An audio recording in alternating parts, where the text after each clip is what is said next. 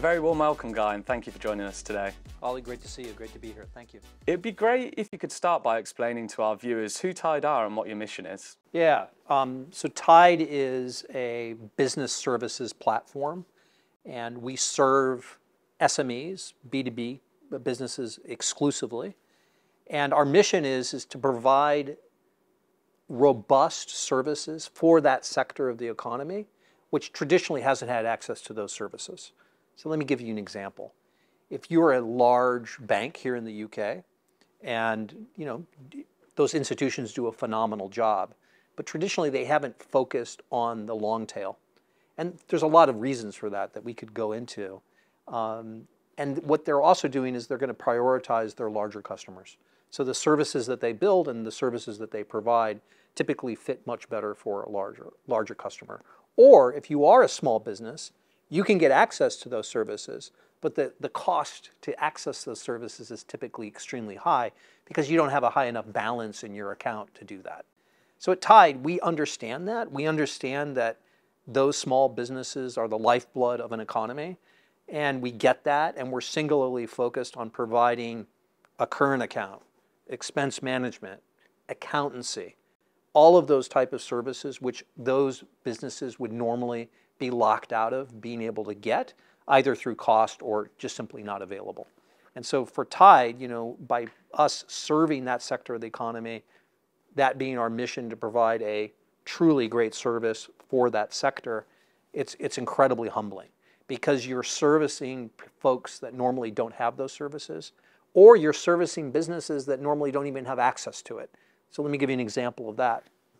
Um, there are businesses in the UK that, you know, if you go to a traditional bank, uh, you might might take you three, four, five, six, eight weeks to get that bank account open. You can come to Tide and we can open your bank account. We can do your company house filing for you. So we've automated, we've brought a really intense digital DNA to those services so that we can provide you services that normally you wouldn't have access to. Yeah, amazing. Um, members are obviously hugely important to Tide. How are they faring in the current economic climate? Yeah, so the, the members uh, of Tide that we serve, that sector of the economy is typically, it's, it's the first to get hit, but it's also the first to recover correspondingly.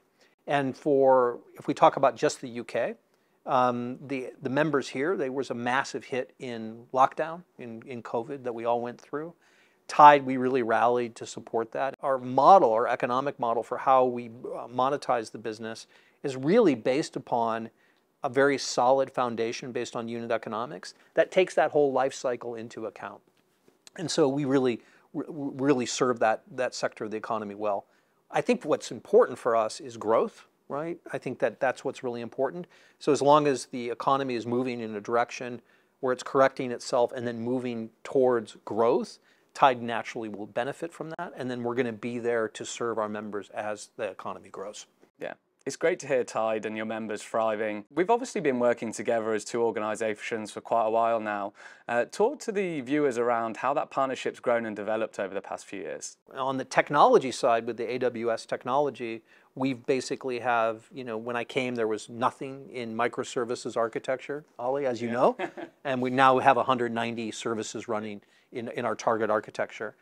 Additionally, we've expanded globally. So we now have the Tide platform is live now in India.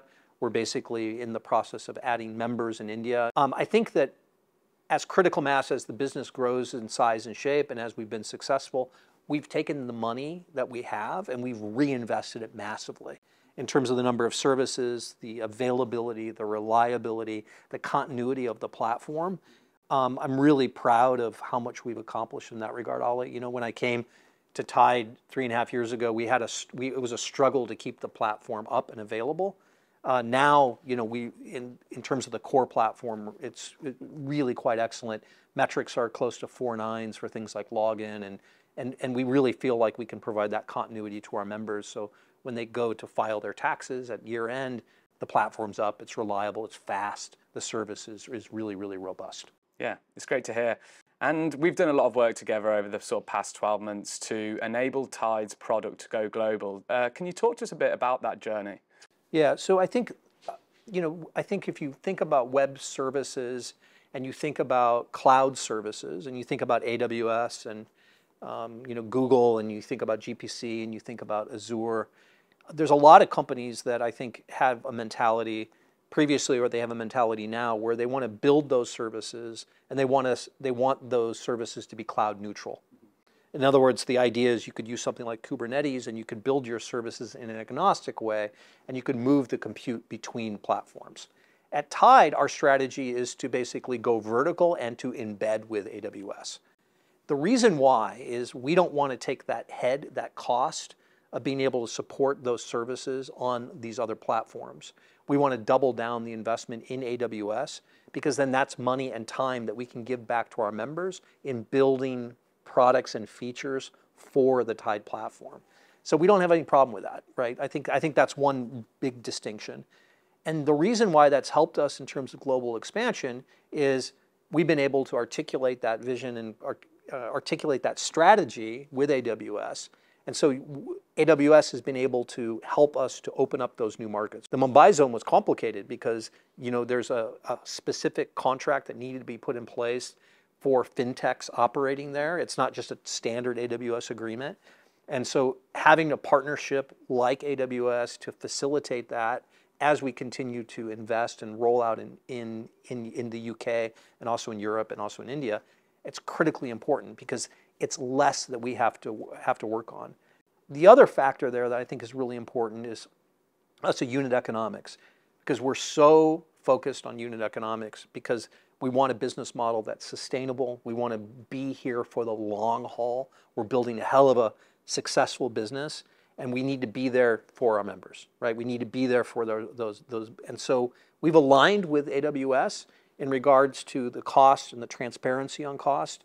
And I think AWS has done a remarkably good job about partnering with us to find out how to provide the services at a very cost-effective manner. Um, I think that's really, really been a key ingredient of us being moving forward. Guy, tell me about Tide's workforce. Where are they located and how do they work with AWS today? The engineering culture at Tide, again, if you play back, Ollie, three and a half years ago, I think we were traditional you know, startup mentality, right? How to basically really kind of just keep things up and try to provide enough value for our members. I think we're leaps and bounds. And I think in a lot of ways, our engineering community, we've started to enter some just really high competencies in terms of performance. The engineering centers that Tide has for the Tide engineers that make it all happen, and also product, right? Product and engineering being together, are Hyderabad, Hyderabad, India, uh, Sofia, Bulgaria, and then also London. So those are our three primary locations. And um, you know, it's it's really really great, and it's uh, those those that workforce in terms of an engineer or an engineering team being able to literally code in the morning and deploy in the afternoon in prod with feature toggles. Ah, it's just it's just it's just phenomenal. It's just really really great. And I can't say enough about how proud I am personally of the engineering community and the engineers and the product people that we that we have at Tide. Uh, they're exceptionally they're 100% focused on those member outcomes and really supporting the mission of Tide of serving SMEs. Yeah, it's amazing, and I'm personally very excited to get out to some of those locations and run some immersion days and game days uh, with the teams. So yeah, really excited about that. Cool. It's great to see that you're always innovating on behalf of your members. And I saw some exciting news recently about your acquisition of funding options. What does this mean for your customers? Yeah, a couple things. Um, I think in terms of Tide and our, our development as a business, uh, we've got one acquisition under our belt. Uh, really humbled that we were able to partner and work with funding options and bring them on board.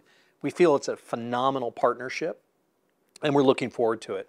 The benefit for our members is that our members themselves are going to have access to more options in terms of credit. Mm -hmm. So if you're a small business owner in the UK, and you're looking for credit, credit, credit-based offerings, you know, Tide, we provide those. But with the addition of funding options, it's just a whole new ballgame. It's a, it's a new league for us. And we're really excited about being able to offer those services for our members. And we're really excited about funding options. I mean, they're, they're a cloud native, AWS-based partner as well. And bringing them into Tide, we think it's extremely complementary and uh, really, really a great move for us as a business. Keeping that focus on the future, what's in store for Tide members going forward? Yeah, so for Tide members specifically, uh, we're going to continue to do the basics really well, right? I think that's really fundamentally important. I think also we're going to continue to invest in machine learning, right? Because the machine learning for us is, I think there's a really important distinction. I'm not talking about AI. We're talking about machine learning because we believe that we can use machine learning to basically make tasks that are hard easier. Mm-hmm. So whether that's something along the lines of matching expense codes or whether that's something along the lines of doing accountancy, you know, there's there's there's some really good basics there. and So we're going to continue. So for us, one of the key metrics is giving time back to our members. So we look at that constantly where we're trying to figure out how to take those mundane tasks that are taking time away from a small business owner of running their business, uh, how to basically provide better services that can take the time out of that so they can run their business and we can take care of those, those things for for that member and for that business. And what role do you see AWS playing in this plan? In terms of AWS, I mean, I think that in terms of the relationship, we've we've really aligned on the roadmap and the product and the services that AWS is building, and and we and we're continuing to look at that and to expand it. So I think that that that's that's the primary. The secondary consideration for us is uh, when we look at AWS is is doing more vertically with AWS. And then the third thing is just, you know, keeping ourselves honest about what we should be doing on the technology front. And, you know, like, you know, us moving fully to Kubernetes, you know, doing that with the Kubernetes supported from AWS was really critical. That was a really critical step for us. We felt early on that when we were just had the business in the UK, ECS was adequate for that, right? Yeah. And it was. Um, but then as we talk about global expansion, we talk about one platform, I think it's a very different consideration. I think the one platform consideration is really important because Tide's technology and the technology stack is the same. So if we're deployed in AWS Frankfurt or we're deployed in AWS Mumbai or we're deployed in AWS London, it's all the same platform. And those development pipelines are all the same. So we really rely upon AWS in terms of helping enable that as we go forward and just provide that continuity. Yeah. I, I think one, one really key thing for me in regards to the AWS relationship is that it's a very deep relationship. It's really embedded. We're extremely happy with it. But for me, as the CTO of Tide, I don't need to worry about AWS. Yeah. Right? I don't have to worry about alignment with AWS. AWS is like in our corner. They've got our back. They're helping enable the business. It's something I just don't need to worry about. It's, it's when I look at the strategy and I look at our partnerships, I can say, okay, I've got AWS. I can give Ollie a call. I can get access to whomever I need in AWS. If we need to have a talk, if we need to double click, you know, really figure out something, we've just got AWS there as a partner. And I think that that can't be underestimated. I think a lot of times people get caught up in optionality and variability and maybe focus too much on cost. I think we have a bit more of a holistic view in terms of the relationship and and how we can basically really tease out a strategic partnership with AWS. Yeah, we can leave that yeah. for another day.